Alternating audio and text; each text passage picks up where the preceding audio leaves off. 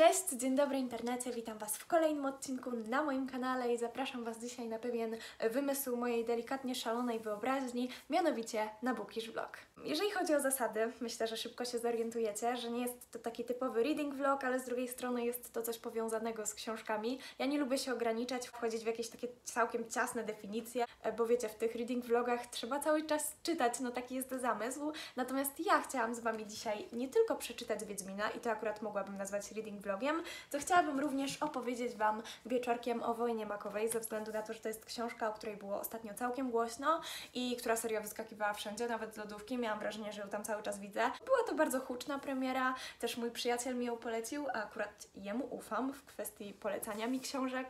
E, no i moje emocje powiązane z nią były całkiem intensywne, więc stwierdziłam, że właśnie fajnie byłoby Wam o niej dzisiaj pogadać. Jakby gdybym nagrała dla Was reading vloga, to nie wiem, czy są jakieś niepisane zasady, ale chyba nie mogłabym Wam zrecenzować jednocześnie tej książeczki, to bo jakby ja ją już przeczytałam. Dlatego właśnie, żeby pozbyć się tego problemu, stwierdziłam, że po prostu stworzę nową serię.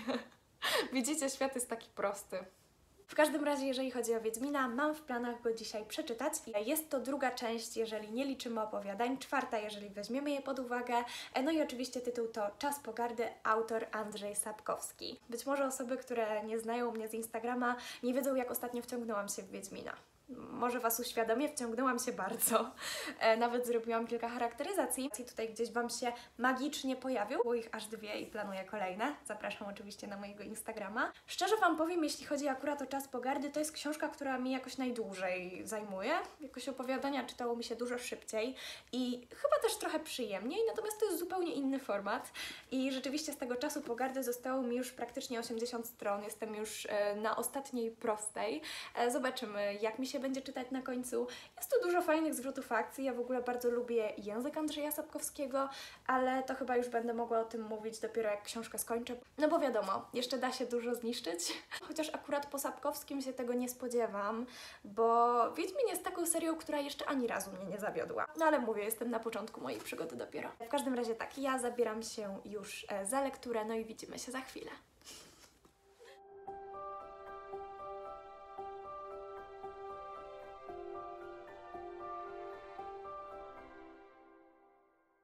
Zrobiłam sobie już swoją herbatę. Ogólnie pewnie normalnie byłaby to kawa w większości wypadków, natomiast ja już moją dzisiaj kawę e, wypiłam i to dwie godziny temu, a jak napiję się za dużo kawy, to potem się dzieje ze mną całkiem źle, więc jakby wolę nie ryzykować, zostaję przy bezpiecznej, zielonej herbacie. Bo w ogóle to dzisiaj rano siedziałam i robiłam podcast o historii sztuki, no i wtedy też potrzebowałam kawy, żeby tam ogarnąć mój umysł. E, robiłam o Beksińskim razem z moją koleżanką, spokojnie nie spotkałyśmy się, tylko jakby e, udało nam się wszystko załatwić zdalnie przez internet. E, natomiast rzeczywiście robiłyśmy e, taką krótką pogadankę na temat większości tego obrazu, który pewnie znacie. To jest obraz e, powszechnie znany jako kołyska. O, oczywiście. Nie umiem po prostu trzymać nawet tableta. W każdym razie robiłyśmy rzeczywiście podcast o twórczości Beksińskiego i w sumie to mi zajęło dzisiaj większość dnia, to dlatego ten vlog zaczyna się praktycznie już o 15. Oh, jak zawsze gorąca, jak zawsze nie mogę poczekać. W ogóle to ze mną i z moim czytaniem Wiedźmina jest całkiem zabawna sytuacja, bo ja w większości książek nie czytam całkowicie, to znaczy jest na Storytel taki świetny audiobook z podziałem na role, z muzyką w tle, odgłosami walki i w ogóle naprawdę jest niesamowity, więc ja w sumie tak sobie czytam i raz na jakiś czas słucham, na przykład ostatnio e, sprzątałam moją łazienkę i chyba trzy godziny audiobooku mi przy tym poszły, bo robiłam całą reorganizację wszystkiego, więc jakby rzeczywiście Wiedźmin często towarzyszy mi na przykład e, przy porannym malowaniu się, no ale wiadomo, no nie czytając, tylko słuchając tego audiobooka, więc e, to nie jest tak, że całą tą książkę przeczytałam, bo stanowczą większość przesłuchałam. Natomiast kiedy mam ochotę czytać, no to wiadomo, też to robię i akurat dzisiaj, teraz, przynajmniej w tej chwili, e, mam ochotę właśnie zabrać się za fizyczną wersję tej książki.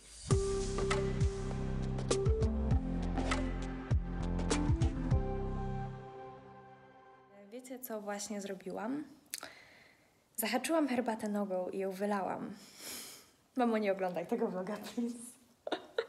tak więc tak, w następnych ujęciach nie będzie już herbaty, idę to posprzątać. Świetne.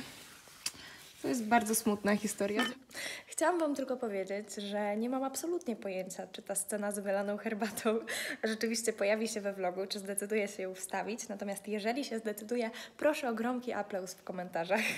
E, natomiast na szczęście nie ma strat w książkach, w ludziach, ani w kubkach, więc w sumie wszystko skończyło się dobrze. A ja wracam do Wiedźmina.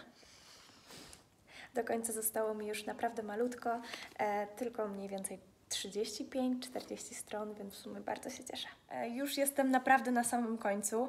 E, zostało mi już mniej więcej naprawdę 30-20 stron, natomiast e, w tej chwili już przerwałam czytanie, no i mam zamiar posprzątać pokój, a skoro to zrobię, no to odpalam sobie też audiobooka, więc myślę, że w taki sposób rzeczywiście skończę ten tom. No raczej innej opcji chyba nie ma, bo serio już bardzo mało mi tego zostało, no chyba, że coś się stanie i bardzo szybko zmienię plany. No więc mam zamiar skończyć audiobooka. To jest po prostu niesamowite. Jestem na ostatniej prostej, ale nie dość, że wyszedł mi strajk kobiet i stwierdziłam, że właśnie fajnie byłoby zabrać głos na ten temat. Jakby research za zabrał mi całkiem sporo czasu, e, to jeszcze na, na, dodatek zadzwoniła moja przyjaciółka. I wiecie, no przyjaźnie są trochę ważniejsze niż e, czytanie książek do maratonu na YouTube'a. Tak więc rzeczywiście pogadałam z nią trochę. A teraz jeszcze Olga, którą właśnie możecie znać między innymi z tego, że stworzyła moje logo e, i na Instagramie i oczywiście tutaj na YouTubie. I my się, słuchajcie, umówiłyśmy na to, że będziemy się uczyć przez godzinę. Tak więc no tyle było z mojego skończenia Wiedźmina teraz. Niestety nie przewidziałam takich sytuacji. W sumie ja lubię się uczyć, a tym bardziej, że to będzie nauka z Olgą. No to wydaje się być to w sumie fajną opcją, więc nie narzekam. Natomiast no do vloga się nie pochwalę, że jestem taka skrupulatna w czytaniu. No już mało zostało. E, zrobiłam sobie drugą herbatkę, tym razem do nauki. Mam nadzieję, że tej nie wyleję. Trzymajcie kciuki. Tym bardziej, że mam tu tableta. O mój Boże, to by się źle skończyło. E, ogólnie już skończyłam i powiem Wam szczerze, uczyłam się przede wszystkim geografii. Mam taką ambicję, taką trochę chorą, e, żeby nauczyć się całej mapy świata w koronaferie. Zobaczymy, jak mi to wyjdzie. Chwilowo umiem większość Azji, tak mniej więcej na 95%. No, pomyłki się wciąż zdarzają, no i całą Europę, ale to wiadomo. E, wiecie, Afryka i powiem Wam szczerze, że te wszystkie wysepki na Karaibach to jest straszne, ale być może kiedyś mi się uda. Mam nadzieję, że kiedyś mi się uda. Natomiast teraz lecę już już e, zaczynać moją wieczorną rutynę, a towarzyszyć mi będzie audiobook Wiedźmina i teraz już na serio, teraz już mnie nic nie powstrzyma. Wam szczerze, to się w końcu stało. Ja wiem, że patrząc na dzisiejszego vloga, być może ciężko jest w to uwierzyć, ale jednak to się w końcu stało. W końcu udało mi się e, przeczytać i skończyć Czas Pogardy. Znowu czekam na aplauz. Natomiast powiem Wam szczerze, że to jest chyba pierwsza część, która mi się mniej podoba niż poprzednie.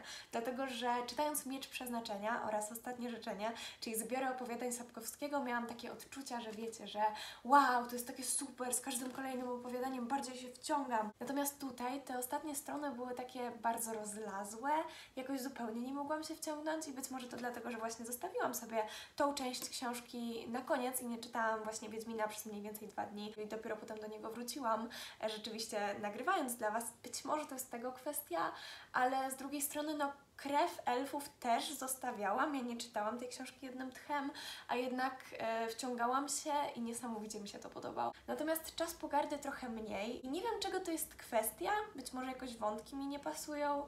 E, natomiast żeby nie było, ta książka wciąż jest świetna. Uważam, że jest mniej więcej 7 na 10, e, natomiast wszystkie poprzednie części, które przeczytałam i z którymi się zapoznałam, jak dla mnie są 8 na 10. To jest naprawdę bardzo fajna seria, e, naprawdę świat e, bardzo mi się podoba, natomiast no jakby mam też w związku z tym światem bardzo wygórowane oczekiwania i nie ukrywam tego, e, dlatego też e, Czas Pogardy jest trochę słabszy, uważam, niż e, wcześniejsza część. Nie skreślam Wiedźmina, wciąż uwielbiam i wciąż kocham, nawet myślałam, czy by nie zrobić dla Was takiej zbiorczej recenzji wszystkich tomów.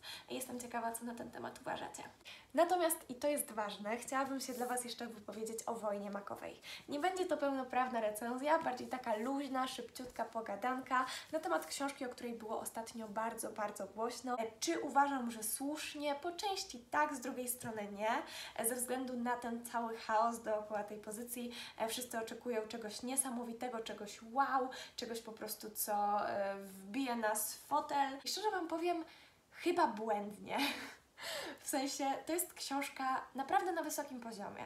To jest książka naprawdę fajna, ale nie nazwałabym jej, no wiecie, najlepszą książką 2020 roku. Natomiast nie ubliżajmy też jej za bardzo. Jest to naprawdę bardzo porządna, bardzo fajna książka, która skłoniła mnie do wielu refleksji na temat e, zła, na temat zemsty, ale też na temat potęgi nienawiści. Mm, mam nadzieję, że to nie jest spoiler. Ja nie potrafię rozmawiać o tej książce, nie mówiąc tego. Nie będę Wam mówić żadnych konkretów, obiecuję. Na pewno powieść, która pozostawiła wiele przemyśleń naprawdę taki efekt wow, jeżeli chodzi o psychologię, jeżeli chodzi o takie podejście do moralności człowieka. I to było dla mnie straszne. W ogóle to jest bardzo brutalna pozycja. E, Jest tutaj e, bardzo dużo nawiązań do II wojny światowej i to są potwierdzone nawiązania. Czytałam wywiady autorki, bo aż byłam ciekawa. E, Rzeczywiście mm, te nawiązania są widoczne, ale też brutalność powiązania z tym wszystkim jest również ewidentna. A to całkiem nietypowe, dlatego że jest to świat absolutnie fantastyczny. W sensie nie mówię, że świat jest fantastycznie zrobiony, chociaż też jest, ale ogólnie jest to fantastyka. Z- e, Powiewem absolutnej świeżości jest natomiast fakt, że e, ta książka ma w sobie wiele wątków powiązanych z kulturą wschodnią i to jest w niej super, bo akurat e, tego jeszcze nie widziałam, natomiast ja jeszcze bardzo lubię wątek szkoły bojowej, szkoły dowodzenia. Ja, to, jest, to jest jeden z moich ulubionych wątków, serio, to jest jakiś mój defekt, w sensie e, wiecie doskonale pewnie, że w grze Endera również jest mowa o pewnym szkoleniu ludzi pod wojny międzyplanetarne i to są akurat w wypadku gry Endera dzieci. I, i rzeczywiście uwielbiam wątek szkoleń militarnych książkach, więc dlatego też wątek dowodzenia tej historii bardzo mi się podobał. Ale wiecie, świat światem, tam szkoły bojowe, szkołami bojowymi, okej, to jest super, natomiast y, dla mnie najważniejsi są bohaterowie. Jeżeli chodzi o bohaterów, mamy tutaj główną bohaterkę, którą poznajemy, kiedy ma 14 lat i nazywa się Rin.